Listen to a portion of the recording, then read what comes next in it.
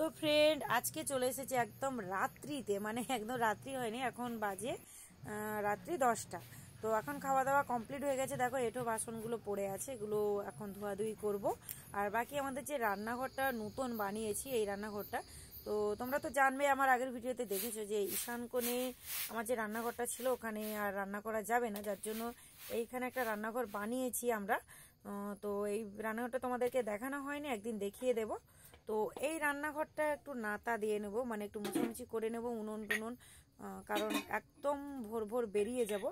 তো কাজ কিছু এখন কমপ্লিট করে রাখতে হবে আর কিছু ভোরের দিকে উঠে করব।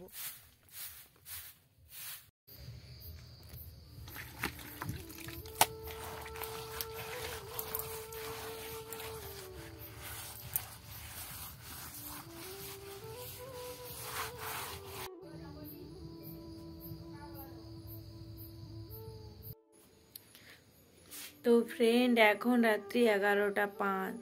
এখন আমি এই এই খাটটার মধ্যে বসে আজকের ভিডিওগুলো এডিটিং করে দিচ্ছি। কারণ সকাল সকাল মানে সকাল নয়, একদম অন্ধকার থেকে বেরিয়ে যাব হরিষা হাট যাব। আর ভিডিওগুলো দিয়ে সমস্ত ভিডিও ডিলিট করে ফোনটাকে একদম ক্লিয়ার করে নিয়ে যাব। যার জন্য এত রাত আর প্রত্যেকদিন রাত্রি জেগে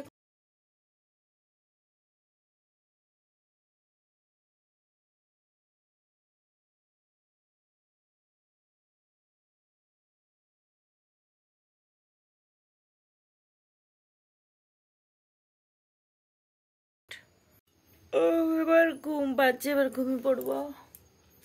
বারোটা বেজে গেছে, আর জায়গা যাচ্ছে না। ওদিকে উঠতে হবে তাড়াতাড়ি। গুড নাইট তো দেখো, রাত্রি করে ঘুমিয়েছি, কিন্তু ঘুম ভেঙে গেছে তিনটা তেরো, আর আমাকে যেন কারেন্টে শর্ট মেরে দিয়েছে। তো যাই হোক, অনেক কাজ এখনও বাকি আছে, যেহেতু বাসি কাজ, সেগুলো তো কমপ্লিট করে যেতেই হবে। তো দেখো, এখন আমি ঘরটাকে একটু ঝাড়ু দিয়ে নিচ্ছি চারিদিকটায়। আর বাইরে তো তোমাদেরকে যদি দেখায় গা ছমছম করবে, খুব অন্ধকার, ভয়ও লাগবে। তো তোমরা ভিডিওটা দেখতে থাকো।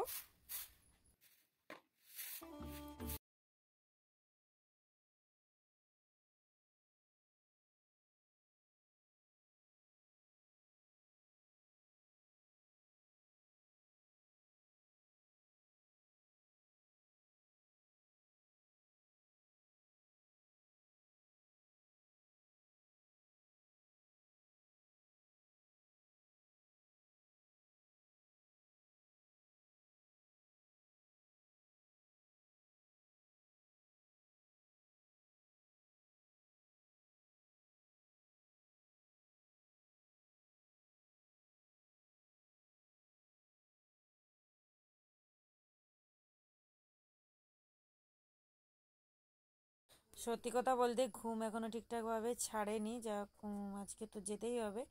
আর যখন আমি এই দূরে ভিডিও করতে যাই, এই টাইমে ঠিক আমাকে উঠতে হয়, কারণ বাড়ির কাজটাও কমপ্লিট করে যেতে হবে। তো যতটা পারব আমি কমপ্লিট করে রেখে দিয়ে যাব, রান্নাটা বানাতে পারব না। তার কারণ এত তাড়াতাড়ি যদি রান্না বানিয়ে দিয়ে যাই, রান্নাটা ঠান্ডা হয়ে যাবে, তাই রান্নাটা মা বানিয়ে দিয়ে যাবে।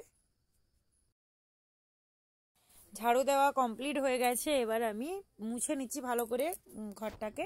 তো সমস্ত জায়গাটা আমি মুছামুছি করি। তো যেই জায়গাটা খাই শুধু সেই জায়গাটা নয়, ওদিকে যে খাটটা আছে ওই দিকটাও মুছে নিই, আর এদিকটা আর বাড়ির উঠোনটাও মুছে নিই। তো এই হলো বাইরের অন্ধকার। তো দেখো, তোমরাও দেখলে ভয় লাগবে বাট আমাদের বাড়ির এখনও পর্যন্ত কেউ উঠেনি এত তাড়াতাড়ি। তো দাদা মর্নিং ওয়াক করতে যায়। তো সকলেই জানে আজকে আমি যাব। তাই সবাই হয়তো আওয়াজটা পাচ্ছে বাট শীতের তো সময় বুঝতেই পারছ লেপ থেকে বাড়ানোটা অনেকটাই দেয়। তো যাই হোক, তো দেখো এবার আমি আমাদের মেন বাড়ির উঠোনের দিকটা চলে এলাম। তো উঠোনটা এক ভালো করে পরিষ্কার করে ঝাঁটি নিয়েছি। আর এবার আমি কি করব, মোছামুছি করে নেব।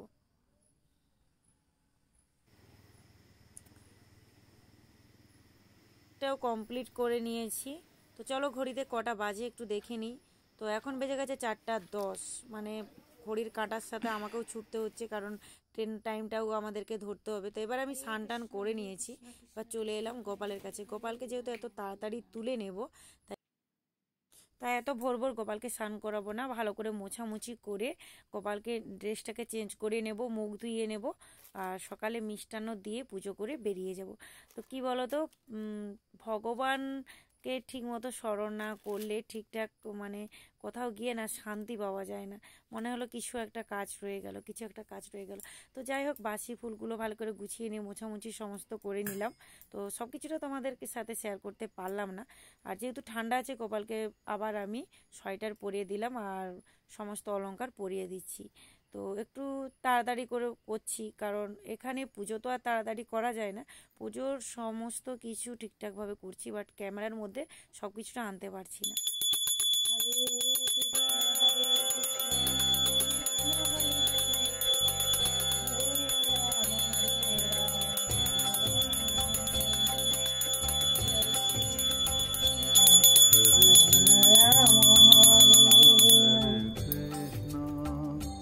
कृष्ण कृष्ण हरे हरे।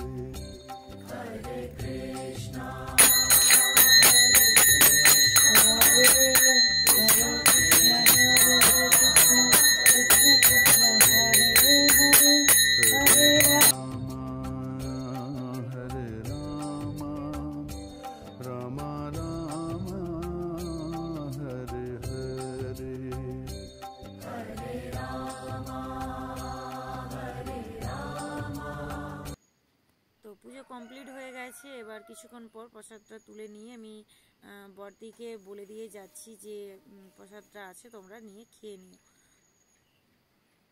তো চলো এবার আমি বেরোবো, কারণ ওদিকেরও যাবার টাইম হয়ে গেছে। তো ফ্রেন্ড আমি তৈরি হয়ে গিয়েছি এখন পাঁচটা বেজে গেছে, তো এবার আমি বেরিয়ে যাব, একদম স্টেশনে দেখা যাচ্ছে।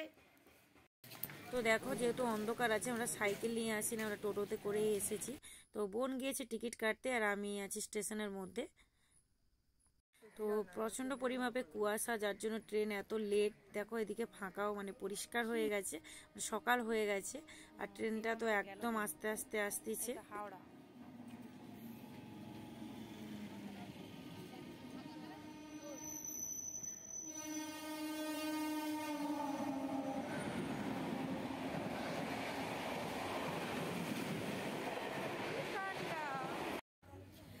ফ্রেন্ড দেখো আমরা ট্রেনের মধ্যে উঠে পড়েছি। একবারে দেখা হচ্ছে হাওড়াতে। দেখতে দেখো ভিডিও তো তোমাদেরকে বলেই দিলাম যে একবারে দেখা হচ্ছে হাওড়া স্টেশনে বাট দেখো যাওয়ার পথে এত কুয়াশা এত কুয়াশা, ভাবলাম একটু ক্যামেরা বন্দি করি আর তোমাদের সাথে শেয়ার করি। তো আজকে দেখো প্রচণ্ড পরিমাপে কুয়াশা হয়েছে, যার জন্য ট্রেন একদম আস্তে আস্তে যাচ্ছে। তো একটু কাছাকাছিও দেখতে পাওয়া যাচ্ছে না, তোমরা দেখতেই পাচ্ছ। তো ট্রেনটা আজকে অনেকটা লেট আর ট্রেনের মধ্যে এত ভিড় হয়েছে যে ল্যাডিসে একজন মা মেয়ে যাচ্ছে তারাপীঠ তো ওর মেয়ে মানে এই সাইডে বসবে জানালার ধারে। তো আমি ভাবলাম আমার কোলে চলে আসো মাম্মাম। তো চলেই এলো আছে। আর কি মিষ্টি মেয়েটা। তো আমার তো খুবই ভালো লাগল।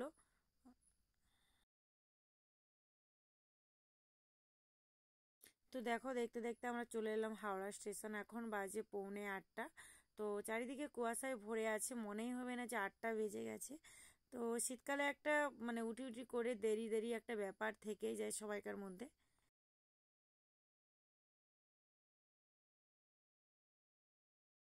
তো এইখান থেকে আমরা বাস স্ট্যান্ডের ধারকে গেলাম আর বাস স্ট্যান্ডে গিয়েই ওখানে এল দুশো আটত্রিশ নম্বর বাস ধরলেই একদম হরিষা হাট বা খান্না মার্কেটের কাছেই নামিয়ে দেবে।